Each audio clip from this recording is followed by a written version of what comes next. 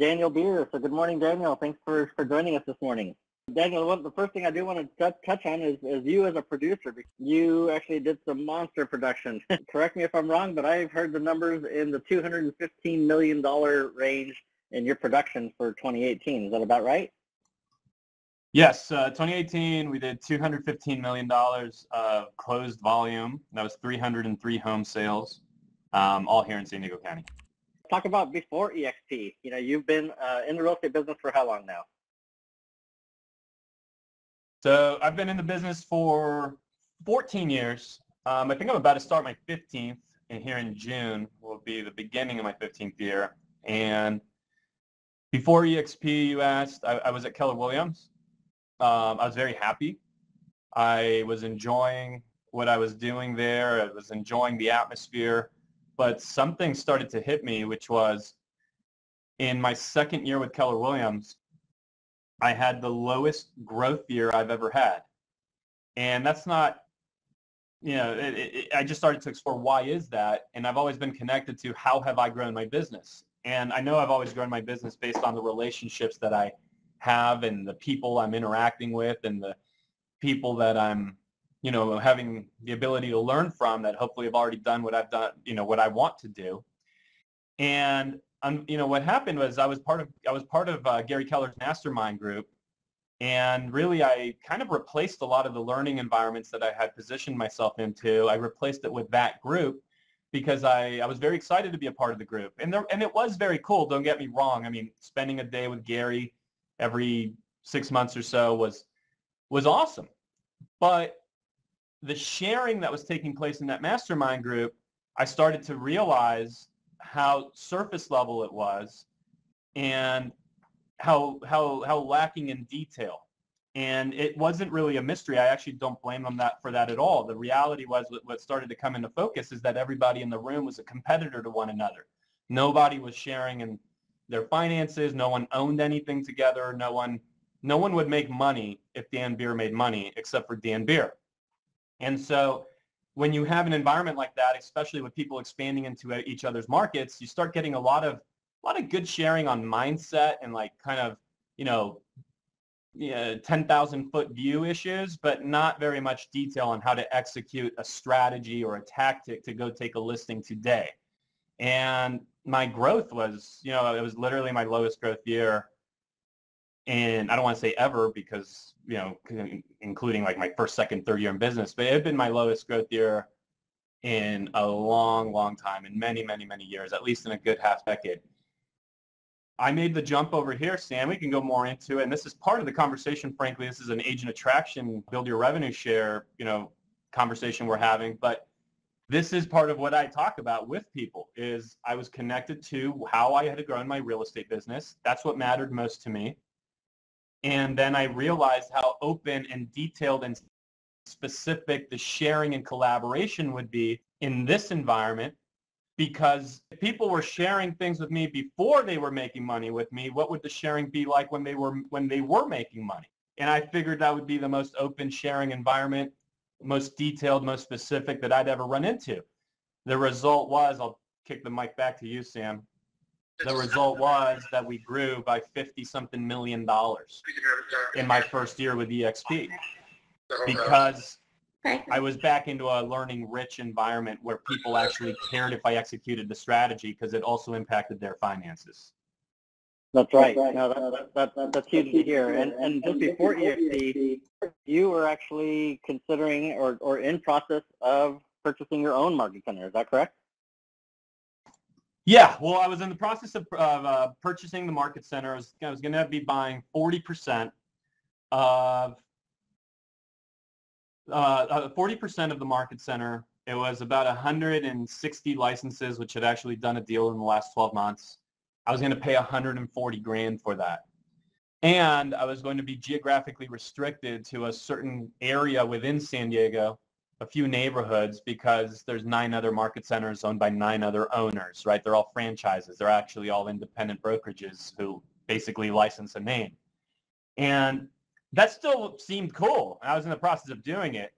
It was while I was negotiating that deal that um, my sponsor, Curtis Johnson, well, he became my sponsor, I saw him jump over to EXP, and I knew several other top agents around the country that had done it. But I just really connected with Curtis, and I immediately called him. I remember I was in Deer Valley. I called him and just said, Curtis, what are you doing, man? You just did this now too.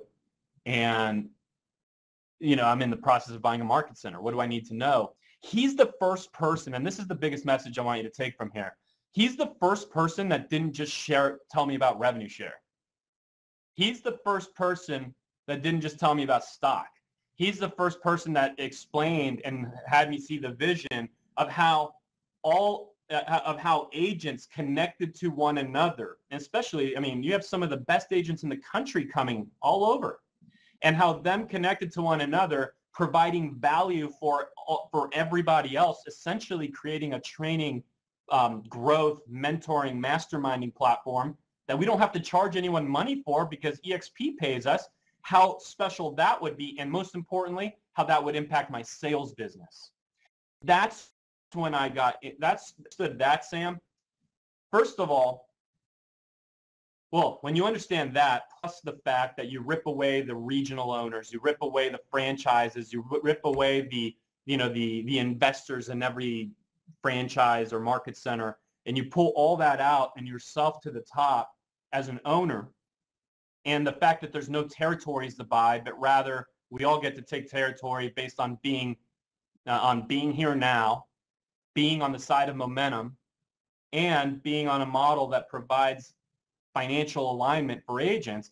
When I understood all of this, suddenly the, the 160 geographically restricted licenses looked like a very small opportunity, and this looked like a much bigger one. And let's tie back to revenue share, because you just heard me say, stop talking about revenue share. Here's the point. For a year, people were sharing with me, hey, come get rich, come get revenue share, come get stock, come get this. I didn't come. I didn't come until I understood how it would impact my sales business. I didn't come until I understood how it connects people. And yet, what mistake did I make when I first came to EXP? Come get revenue share. Come get rich. Come get this. No one cares. Guys, nobody cares. What they care about is give them an environment to go from 20 deals to 40. The revenue share, I'll tell somebody straight up, let's have this conversation about EXP, assuming you're never going to see a penny of revenue share. And then I'll say, look, you will. I just don't know how much. But here's what I do know. Here's what I know is going on in EXP world every day from a learning standpoint. Here's what I know is going on in terms of who's connected into this platform and how much value you're going to get because of the financial alignment that's created. And here's how I know that's going to impact your sales business because it's exactly how mine grew. And so revenue share is the most important thing in the world to you, even if you never see a dime of it literally, if you never see a penny of revenue share, it's still the most important thing in the world to you because it's the glue, it's the engine that makes all the sharing happen. So if we get you, if we give you an environment, and by the way, agent, because I'll always be real with them, you're going to be in charge of actually implementing what you learn. I can't do that for you. But if we get you into an environment where you can go from 20 deals to 40 because of the sharing and revenue share is the reason the sharing exists, then aren't you actually collecting revenue share through your increased like commission income, even if you're not seeing, a, even if you're not directly seeing it as revenue share. And again, folks, that's not to say they're not going to see revenue share. We all do when we put any kind of consistent effort into it, and we can get into a more tactical conversation in a moment. But that is what's special about this company. Okay, sharing sharing screenshots with people doesn't do anything until they understand how they're going to actually be how their real estate business will be impacted. That's what most people want to understand. When when you first came over, you didn't come over by yourself, right? You ended up bringing a couple buddies along, right? Did everybody hear about the about EXP all at the same time? Um, and if not, did you start having those conversations with the others. And so how, what, what took place in order for you to actually make the move, not only for you and your team, but you actually ended up bringing over some other big producers as well as um, uh, big influencers here in the company pretty quickly. Well, the, yeah, the first thing I did once I once I got done with my conversation with Curtis and I knew I was coming because it truly is a once you really understand it, once you understand you get to run your business, your brand, your company, and you get to simply broker through this brilliant structure. But once you understand that, like there's no going back, right? You're not going to go buy a geographically restricted market center with 160 licenses and pay 140 grand for the privilege of doing it. So I was in. The first thing I did was I immediately called Kyle Whissel, one of my biggest competitors in San Diego County. He ran his own independent brokerage, and I immediately called him. I said, Kyle, I'm looking at something. You and I need to go have lunch. And here's what I know about the brokerage business.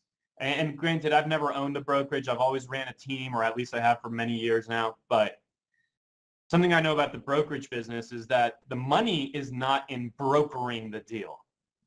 Okay, like the actual act of clearing the deal, that's not where the money is. It can be, you know, it is for EXP, but you're going to need many thousands of agents to make that scale work.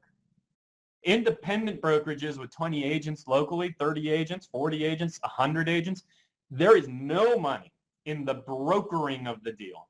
The money is in getting buyers and sellers to work with you. Okay, the, the mechanics and compliance of just simply brokering the deal, financial advisors refer to that as the clearinghouse. Those are just mechanics, okay? That's not why anyone's working with us. So here's this guy, a competitor of mine. He runs an independent brokerage, and I know he's not making a dime on the brokerage side. The money he's making is because of his team sales. And so I call and I, we set up lunch. I laid out what I was looking at and how I was looking at it. In the course of having lunch, he said he'd been exploring the same thing. He'd become aware of the model. He'd started to, explore how can he undo himself of what he completely dislikes, which is compliance, audits, talking to the Department of Real Estate about nonsense, lawsuits, letters, all that crap. How can he undo himself of that and get back and, and repurpose all that time to dollar productive activity? He just never found a platform that would make sense for him to do it. But he, he, he, he was actually in the process of exploring EXP. By the end of that lunch, we were both in, and we uh, we basically went from there. But don't be afraid to talk to your biggest competitor. They could become your biggest ally.